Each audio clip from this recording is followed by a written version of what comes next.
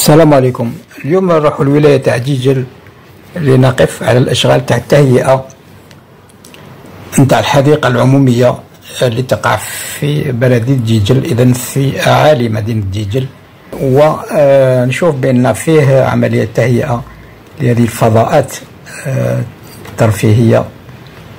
ولازم لازم التهيئات في يعني فضاءات حدائق آه، وتكون في التوسيع فيها. لابد من التوسيع فيها. وغرس أماكن للظل للظلال يعني خلق الظلال في هذه المناطق خاصة مع ارتفاع حرارة الشمس في يعني السنين الأخيرة الماضية. إذا لابد لابد من آه، توفير أماكن للظل